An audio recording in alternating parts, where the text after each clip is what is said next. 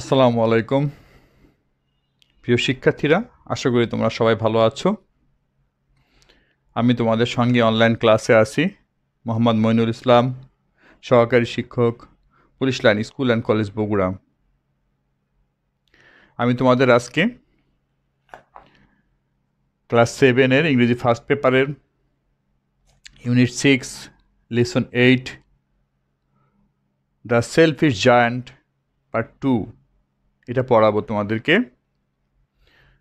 তোমরা নিশ্চয়ই আমার আগের ক্লাসটি লক্ষ্য করেছ। আমাদের একটা জিনিস সবচেয়ে বেশি মনে রাখা দরকার যে আমাদের ইউনিট সিক্সের প্রত্যেকটা লিসন প্রত্যেকটার সাথে সম্পৃক্ত।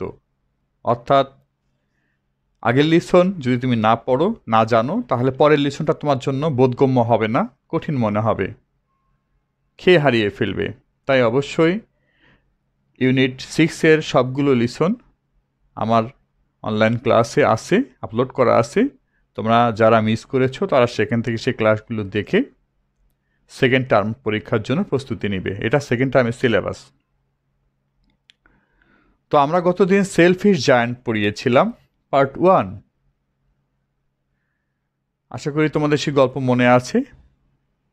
তো আমরা আজকের সেলফিশ জায়ান্ট পার্ট টু শুরু করার আগে আমরা এই চ্যাপ্টারের যে ভকেবুলারি বা কঠিন কঠিন যে শব্দগুলো আছে, সেই শব্দগুলো সম্বন্ধে একটু জানতে চাই, এদের মানে জানতে চাই, এদের শব্দ অর্থ উচ্চারণ ইত্যাদি আমাদের জানা প্রয়োজন এবং তোমরা বই খুলে পাশাপাশি পেন্সিল ব্যবহার করে এই শব্দগুলো আন্ডারলাইন করো প্লাস দেখবে যে একবার টিচারের সঙ্গে দেখে নিলে খুব ইজিভাবে এটা সলভ হয়ে যাবে, খুব কঠিন মনে হবে না।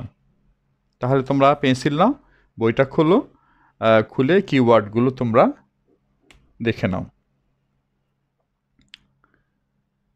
Blossom B L O double S O M blossom ফোটা, ফুল ফোটাকে বলা হচ্ছে blossom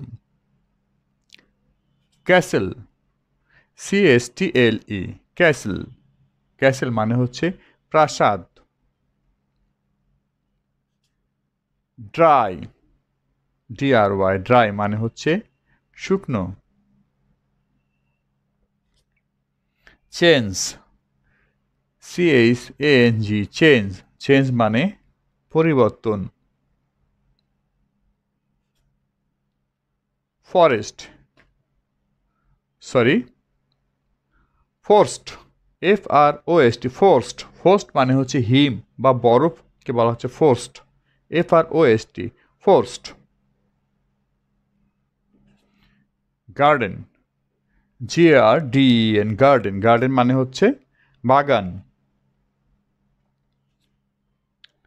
Happy H A double P O happy মানে সুখী।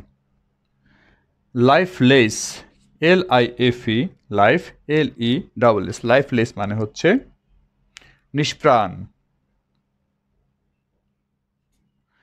Play P L Y play মানে খেলাধুলা। Snow S N O W snow মানে হচ্ছে তুষার বা বরফ আচ্ছাদিত। তুষারকে বলা হচ্ছে snow spring S P R I N G spring spring মানে বসন্তকাল। Summer S U double M E R summer summer মানে গ্রীষ্মকাল। Weather W E A T H E R weather weather মানে হচ্ছে আবহাওয়া। Winter W I N T R winter winter মানে হচ্ছে শীতকাল। লাস্ট এটা crowded C R O W D E D crowded crowded মানে জনাকীর্ণ বা ভিড় ভাট্টা যেখানে ভিড় বেশি থাকে, সেটাকে বলা হচ্ছে জনাকীর্ণ বা ভিড়। যেখানে ভিড়, সেটাকে বলা হচ্ছে ক্রাউডেড এই গেল আজকে আমাদের অধ্যায় হচ্ছে ভাকিবুলারি বা কিওয়ার্ডস তো আমরা গতদিন কি পড়েছিলাম? যে দৈত্য বাচ্চাদেরকে দেখল তার বাগানে এসে দেখল অনেক দিন পর ফিরে এসে দেখল। গত ক্লাসের রিভিউটা ওটা যে অনেক ছেলে মেয়েদের বাগানে খেলছে, দেখে অনেক দিন পরে এসে দেখে সে খুব বিরক্ত হয়ে গেল। সে তাদেরকে ধমক দিল এবং বলল যে, এই বাগানটা আমার যে শুধুই আমার এই বাগানে অন্য কেউ আসতে পারবে না, অন্য কেউ খেলতে পারবে না। হ্যাঁ বাচ্চাদেরকে সেখান থেকে তাড়িয়ে দিল এবং সেই দৈত্যের বাগানের চারিদিকে সে নিজে ওয়াল তৈরি বা প্রাচীর তৈরি করে সেখানে ঢোকার পথ বন্ধ করে দিল। দিয়ে এবং বাইরে একটি নোটিশ ঝুলিয়ে দিয়েছিল হ্যাঁ?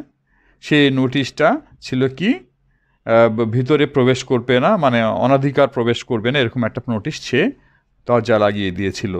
এরপর থেকে আমরা আজকের লিসনটা পড়ব। সবাই বই খোলো, পৃষ্ঠা sixty four sixty five keywords তো বলেছি ক্যাসেল ক্যাসেল মানে হচ্ছে তোমার হচ্ছে প্রাসাদ। হ্যাঁ আমরা ছবি দেখতে পাচ্ছি, দেখো। ছবিতে বাগানের চারিদিকে ইটের প্রাচীর, পাথরের প্রাচীর তোলা হয়েছে। এই প্রাচীর পার হয়ে বাচ্চারা বাগানের ভিতর প্রবেশ করতে পারছে না। আমরা এটা দেখে এটাই বুঝতে পারছি। তো আমরা লেখাটা পড়লে নিশ্চয়ই ব্যাপারটা আরও ক্লিয়ার হয়ে যাবে। দেখো the children had now now where to play ছাত্ররা সরি ছেলেমেয়েরা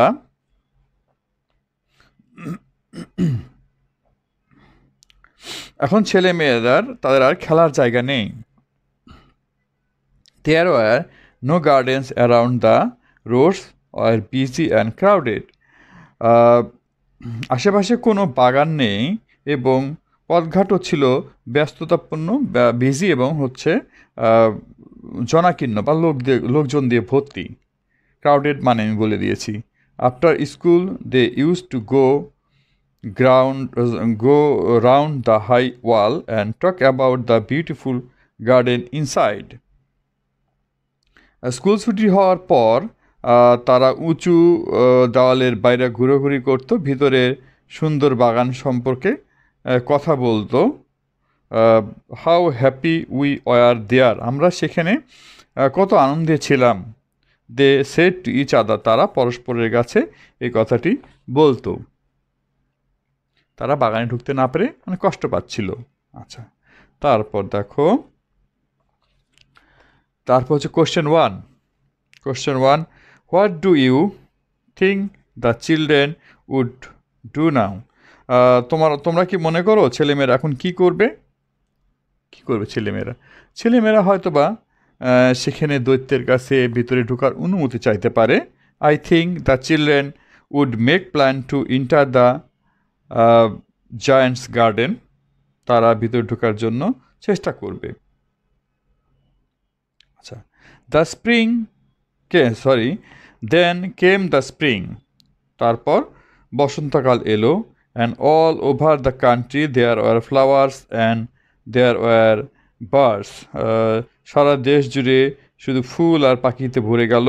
Only the garden of the giant is it was still winter কিন্তু শুধুমাত্র দৈত্যের বাগানে ছিল শীতকাল।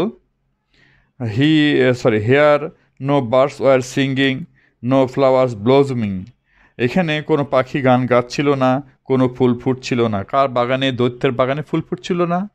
বসন্তকালে আমরা জানি সাধারণত ফুল ফুটে, গাছে গাছে নতুন পাতা দেখা দেয়, ফুল ফুটে এবং পাখিরা গান করে।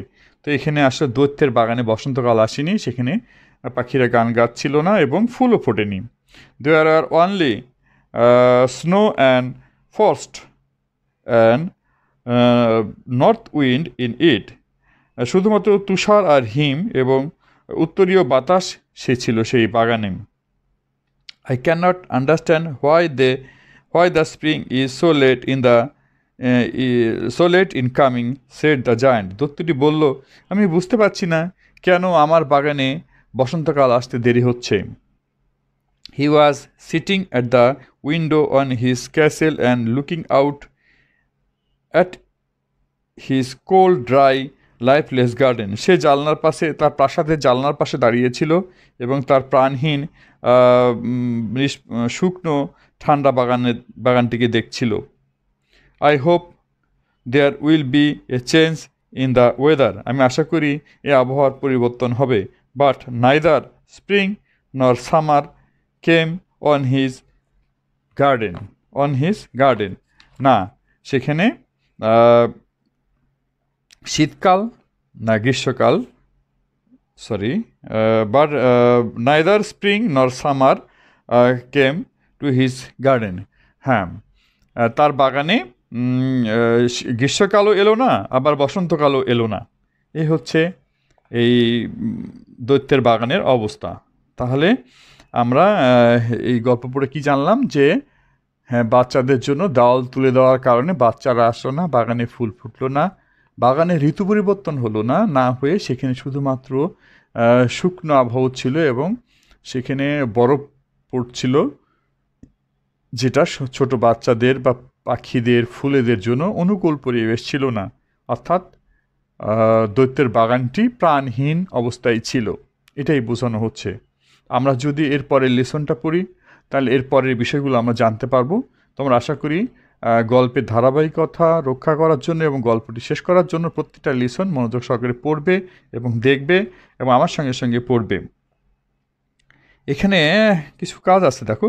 Discuss in groups and write and answer to the question তোমরা হচ্ছে দলীয়ভাবে আলোচনা করো এবং প্রশ্নগুলো উত্তর দাও। এ খুব ইজি ব্যাপার। What happens in the garden in the winter শীতকালে বাগানে কী ঘটেছিল? হ্যাঁ। The trees are flowers became lifeless in the winter season শীতকালে প্রাণহীন বা শুকনো হয়ে গিয়েছিল বাগানটি। এভাবে আমরা নিজেদের মধ্যে, বন্ধুদের মধ্যে গ্রুপ করে নিয়ে আমরা নিজেরা সেন্টেন্স মেকিং করে আমরা নিজেদের মধ্যে এই কথাগুলো আলোচনা করব। এতে করে আমাদের স্পিকিং লিসনিং এবং কথা বলার যে দক্ষতা, সেটা বৃদ্ধি পাবে। তোমরা অবশ্যই জিনিসটা চেষ্টা করবে। তারপরে দেখো, এটা হচ্ছে C suppose you are one of the children who are not allowed to play in the giant's garden মনে করো তুমি ছেলে মেয়েদের মধ্যে একজন ছেলে মেয়েদের মধ্যে একজন যাদের দৈত্য বাগানে খেলা করার অনুমতি ছিল না। ইন দিস সিচুয়েশন এই অবস্থাতে তুমি কি করবে? এই অবস্থাতে আমরা কি করব? এই অবস্থাতে আমরা যেটা ভাববো যে আমরা হোয়াট এখানে প্রশ্ন দেওয়া আছে দুইটা, দেখো what would you like to tell the giant তুমি দৈত্যকে কি বলতে চাও? আমি কি বলতে চাই, বলো? আমরা দৈত্যের কাছে, তার বাগানে আমাদেরকে খেলাধুলা করার জন্য অনুমতি চাইতে, চাইতাম আমি হলে, তাই না? এই উত্তরটা তোমরা নিজেরা লিখবে। বাড়ির কাজ হিসেবে থাকবে এই দুইটা উত্তর। আমি কিন্তু বাংলায় বলে দিলাম। Number two what do you think the giant would tell you তোমার মতে দৈত্যটি তোমাকে কি বলতো? অর্থাৎ তুমি যে আগে এক নম্বর প্রশ্নে যে কথাটা বললে, তার পরে দৈত্যটি তোমাকে কি বলতো? তাহলে দৈত্যটি আমাকে বলতো, কি বলতো? যে হ্যাঁ আমার বাগানে যদি ঢোকো বা ঢোকার চেষ্টা করো, তাহলে আমি তোমাদেরকে শাস্তি দিব। দৈত্য তো এরকম কথাই বলবে। তাহলে আমরা কি জানলাম যে, আসলে দৈত্য বাগানটিতে ঢুকতে দিতে চায় না বাচ্চারা। তো এই যে দুইটা প্রশ্ন দিলাম, এই প্রশ্নের উত্তর দুটো বাড়িতে তোমরা লিখবা উত্তর লিখে রাখবা, স্কুল খুললে বাড়ির কাজ হিসেবে আমাকে তোমরা দেখাবা। আর আমরা পরের ক্লাসে আজ আজকে মতো লেসন টু আমরা আজকে শেষ করলাম। লেসন টু শেষ হলো, এরপরে আমরা next lesson three the selfie giant lesson three আমরা শেষ করব। থ্রির পরে ফোর হলে আমাদের এই গল্পটা টোটালটা শেষ হবে এবং আমাদের এই ইউনিট সিক্সটাও শেষ হবে হচ্ছে দ্য সেলফিশ জায়ান্ট গল্পটির মাধ্যমে ইউনিটটাও শেষ হবে। তো আশা করি তোমরা ততদিন পর্যন্ত ভালো থাকবে। আজকের মতো ক্লাস আমি এখানে শেষ করছি। সবার জন্য শুভকামনা। সবাই সুস্থ থাকবে, বাড়িতে থাকবে। আশা করি স্কুল খুললে সবার সঙ্গে দেখা হবে। সবার সুস্বাস্থ্য কামনা করছি। আল্লাহ হাফেজ। আসসালামু আলাইকুম।